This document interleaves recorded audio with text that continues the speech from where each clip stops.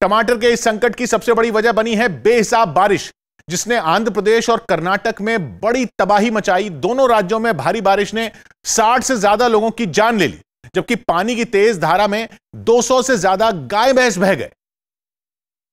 और पानी की तेज धारा का यह कहर अब भी थम नहीं रहा। आंध्र प्रदेश के कई इलाकों में बाढ़ की वजह से सड़कें डूब गईं और पानी पुल के ऊपर से बहने लगा। हिंदूपुरम में तो पुल के ऊपर बहने वाला पानी अपनी तेज धार में एक बस को ले जाता दिखा। लेकिन बस में सवार 30 यात्रियों की किस्मत अच्छी निकली कि नीचे गिरने से ठीक पहले बस अटक गई और सभी यात्री बचा लिए गए। प्रशासन और आसपास मौजूद लोग यात्रियों को सुरक्षित ठिकाने पर ले गए।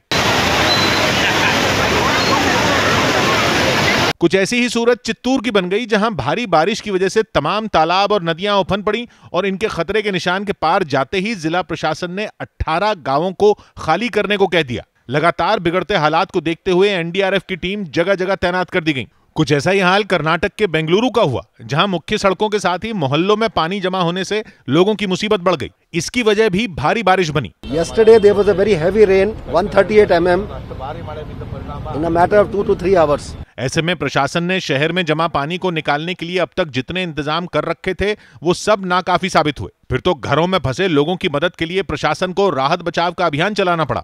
सौ बात की एक बात है कि दक्षिण भारत के राज्यों में तबाही मचाने वाली बारिश और बाढ़ मौसम वैज्ञानिकों के लिए भी पहेली बन गई है क्योंकि वहाँ अक्टूबर से दिसंबर तक दक्षिण पूर्व मानसून की बारिश तो हर साल होती है लेकिन इस बार नवंबर के महीने में तमिलनाडु, आंध्र प्रदेश, केरल और कर्नाटक में सामान्य से लगभग दो गुना ज़्यादा पानी बरस चुका है।